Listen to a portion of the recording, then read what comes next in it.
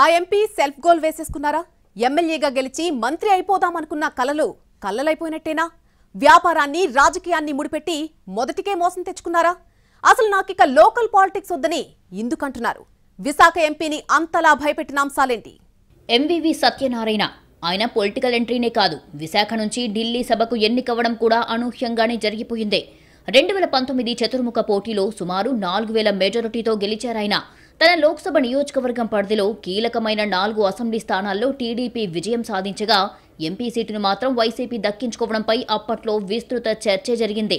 తెలుగుదేశంలో అంతర్గత విభేదాలు ఎంవీవీకి కలిసి వచ్చాయన్నది నాటి విశ్లేషణ. అయితే ఈ నాలుగేళ్ళలో ఎంబీవీ ఎంపీగా విశాఖ మీద తన ముద్ర వెయ్యలేకపోయారన్నది లోకల్ టాక్. పార్లమెంటు సభ్యుడిగా కంటే రియల్టర్గానే ఆయనకు సంతృప్తి ఎక్కువన్నది సన్నిహితులు చెప్పే మాట. పార్టీ పరంగా సీఎం దగ్గరికి నేరుగా వెళ్ళగలిగే చొరవున్న అతి కొద్ది మందిలో ఒకటిగా పేరున్నా ఇతర ముఖ్య నాయకత్వంతో విభేదాలు గట్టిగానే ఉన్నాయట. సయోధ్య కోసం చేసిన ప్రయత్నాలు కూడా విఫలం కావడమే ప్రస్తుత ఫ్రస్ట్రేషన్ కారణమంటున్నారు. వచ్చే ఎన్నికల్లో శాసనసభ బరిలో దిగాలని భావించారు ఎంవీవీ.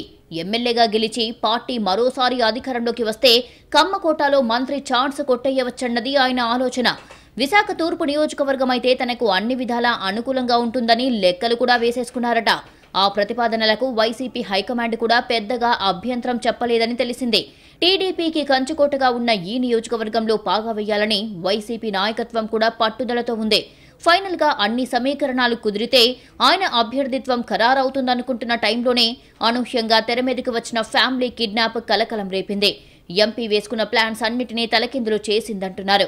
రాజకీయంగా ప్రమోషన్ కోసం కలలు కంటున్న వేళ ఆదిలోనే హంసపాదు ఎదురైందని సొంత పార్టీ నేతలే చెవులు కొరుక్కుంటున్నారు. కుటుంబ సభ్యుల కిడ్నాప్ తర్వాత ఎంవీవీపై విపరీతమైన సానుభూతి వచ్చింది. రాజకీయాలకు అతీతంగా అందరూ ఆ ఘటనను ఖండించారు.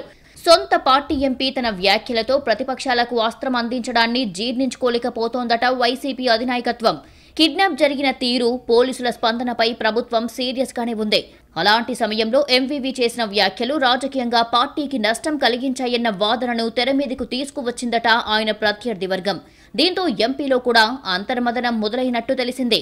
అనవసరంగా వ్యాపారాన్ని రాజకీయాలను ముడిపెట్టి ఇబ్బంది పడాల్సి వస్తోందన్న ఆవేదన ఆయనలో కనిపిస్తోందని చెబుతున్నారు సన్నిహితులు. అసెంబ్లీకి పోటీ చేయాలని ఆలోచనలు వచ్చినప్పటి నుంచి దెబ్బ మీద దెబ్బ తగులుతుండటంతో ఇక ఆ ఆలోచనను మానుకోవాలని అనుకుంటున్నారట ఎంవివి. ఇప్పుడు ఆయన్ని ఎవరు కదిపినా వైరాగ్యపు మాటలే వస్తున్నాయట.